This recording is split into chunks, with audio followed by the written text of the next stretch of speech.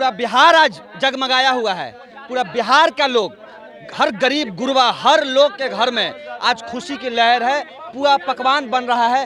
पूरी तरीके से आज पूरा पूरा बिहार झूम रहा है। पूरा बिहार झूम रहा है। बच्चे, बुज़ुर्ग, महिला, युवा, सब लोग झूल रहे हैं और इसी तरीके से पूरे बिहार के छात्रों को हम लोग और युवाओं को हम लोग न्याय दिलाने का काम करें शॉर्ट्स देख रहे हैं आप, मैं हूँ आपके साथ अनिकेत कुमार। लगभग 32 साल पुराने मामले में पप्पू यादव को जेल भेज दिया गया था, जिसके बाद आज चार महीने बाद उन्हें जेल से रिहा कर दिया गया है। तस्वीरें आप जाप कार्यालय के बाहर देखिए फिर यहाँ पर ये लोग रंग गुलाल लगा रहे हैं एक दूसरे को हम चलेंगे कुछ कार्यकर्ताओं से बातचीत करेंगे।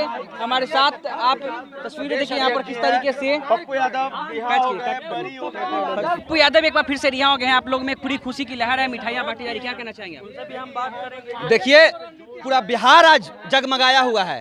पूरा बिहार का लोग हर गरीब गुरबा हर लोग के घर में आज खुशी की लहर है। पूरा पकवान बन रहा है। पूरी तरीके से आज पूरा पूरा बिहार झूम रहा है। और हम लोग पूरा मिठाई बांट रहे हैं जश्न मना रहे हैं। फिर से जिसके साथ अन्याय हुआ है उसी तरह से सबको न्याय मिलेगा और अन्याय पे फिर से चुप्पी टूटेगी और पप्पू यादव आके सबको न्याय दिलाने का काम करेंगे। युवाओं में खुशी की क्या लहर है? पूरा बिहार झूम रहा है बच्चे बुज़ुर्ग महिला युवा सब लोग झूल रहे हैं और इसी तरीके से पूरे बिहार के छात्रों को हम लोग और युवाओं को हम लोग न्याय दिलाने का काम करेंगे। पप्पू यादव बाहर निकल चुके हैं युवा कितना खुश हैं? युवा बहुत बहुत खुश है यहाँ पे यहाँ पे पूरा बिहार खुश है। युवा की बात नहीं है युवा के यहाँ पे सारे गरीब गुड़ गुड़बे के लोग बहुत खुश हैं। उनके आदरणीय माननीय पप्पू यादव जी आज रिहा हो चुके हैं बाइज्जत बरी हो चुके हैं और हम लोग आज बहुत खुश हैं। हम लोग रंग गुबा गु, गु, रंग और गुलाब के साथ साथ मिठाइयाँ भी बांट रहे हैं और लोगों के साथ और आसपास हम पहुँच रहे हैं और हम मिठाई बांटने का काम करेंगे। तो रंग और गुलाल खेले जा रहे हैं। तस्वीरें देखिए बच्चों में यहाँ पर मिठाइयाँ बांटी जा रही है। आपस में जो भी जाप के नेता है ये सब रंग और गुलाल खेल रहे हैं। हम अभी कुछ और नेताओं से बातचीत करेंगे। पहुँच गए उनकी कमी खलती है। ये आपके राष्ट्रीय अध्यक्ष बाहर आ चुके हैं। हाँ। दीन दुखियों के सेवक और गरीब गुरबों के मसीहा आदरणीय पप्पू यादव जी।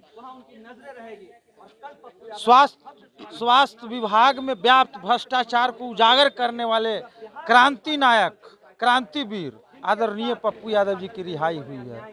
ये जनता की जीत है। देश और प्रदेश के करोड़ों करोड़ों जो जनता की दुआ थी, उनकी जीत है। हम संविधान और न्याय व्यवस्था के आभारी हैं। कहीं ना कहीं न्याय की जीत हुई है, सत्यमेव जयते। और दूसरी बात कि जिस तरह से उनको राजनीतिक साजिश के तहत गिरफ़्तार किया गया था, उस समय लेकिन हम लोग को तो न्याय पर भरोसा था। न्याय आज मिला। जनता की दुआ भी काम आई।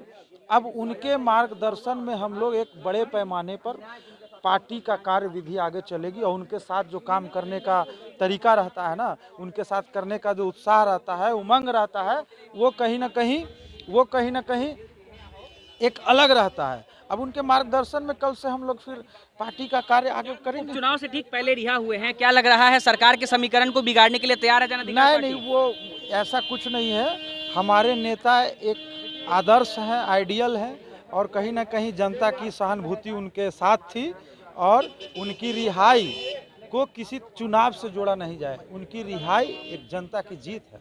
चुनाव लड़ेंगे?